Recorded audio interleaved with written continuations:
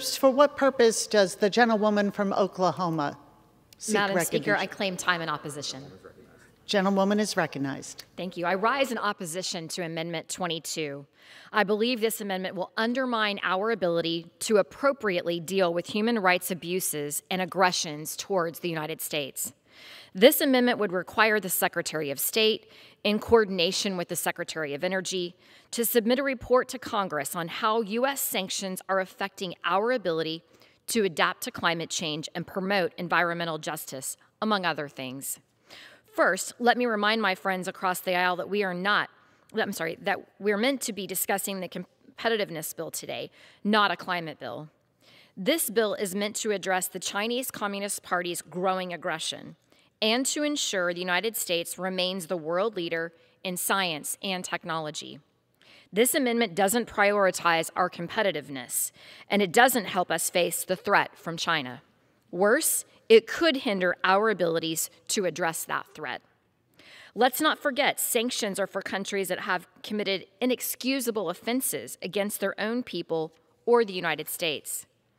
It seems to me that the purpose of this amendment is to show that our sanctions against China, who is committing forced labor crimes every day, are actually hurting progress towards adapting to climate change.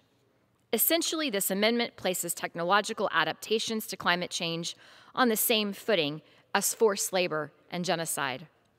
I fully believe that the United States has the capacity to develop innovative technologies to continue to reduce our emissions and mitigate the effects of climate change. And I do not accept that to do this, we need to prioritize China's innovation over their forced labor.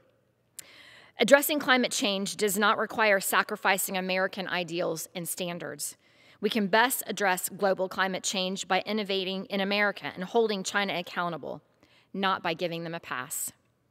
I would much rather look at how the United States can encourage more participation in research and development than drive innovation.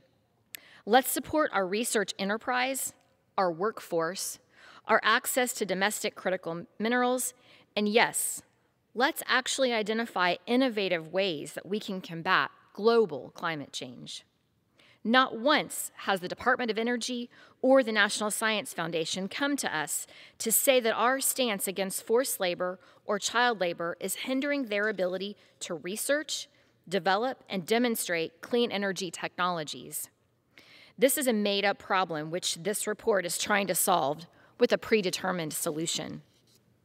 I urge my colleagues to support your constituents by putting the United States first and opposing this amendment. Thank you, Madam Speaker. I reserve the balance of my time.